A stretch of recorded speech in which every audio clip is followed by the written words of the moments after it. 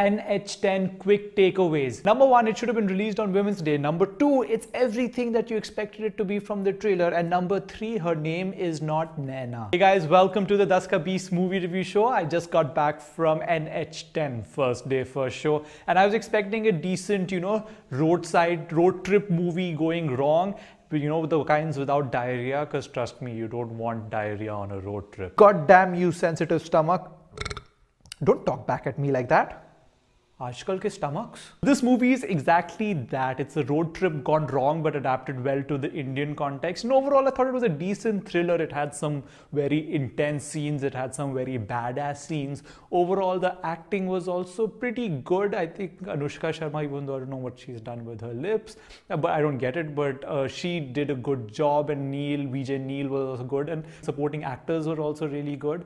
But Anushka Sharma basically carried the whole movie, which is why I said that they should have released it on Women's Day because I mean she did a good job and they talk about a lot of women issues in the movie, though they're not subtle. That like it does it's not hard to make out that they're like really talking about women issues in this movie, but they're not like very preachy, which I liked. I mean they just sort of mention it that you know this is there, but that's about it. I had the whole Gurgaon corporate couple stereotype, the Delhi ego stereotype, and the Haryanvi misogynist villagers stereotypes in, in this movie. But at the same time, even though they were like kind of stereotypical, they made them very believable, which actually added a lot to the tense atmosphere in the movie because you feel that a lot of the stuff happening there it can actually happen to somebody you know or you. I mean, I felt the intensity because you know, based. I mean, like I live in Delhi and you know, close to Gurgaon, and this whole movie is set over there. I don't know how people from other cities are going to react to this movie, whether they'll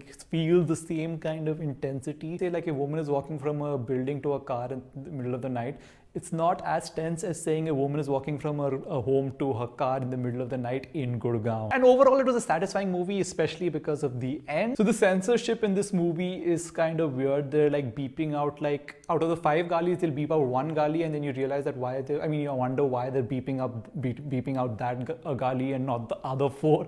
So I mean, they were very inconsistent with the censorship. But this movie could have easily been banned. I mean, because they're talking about a lot of women issues, considering the fact that they banned and the documentary, which is talking about similar issues. But just because it's a documentary and this is a film doesn't mean that the issues spoken about in the film are like not issues in real life. Because if you want to ban something, right, you should just ban everything. Now, why should the government make such a half-hearted effort at like banning this and not that?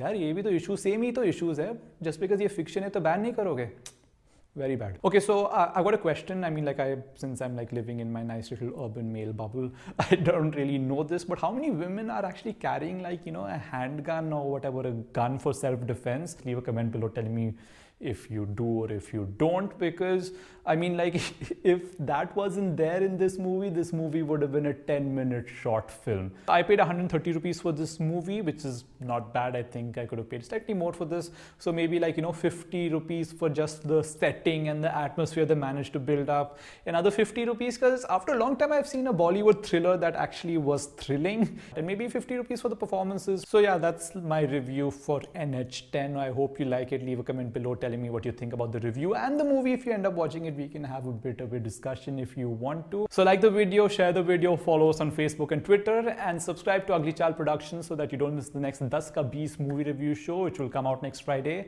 I shall see you guys then. Thanks for watching. Bye bye.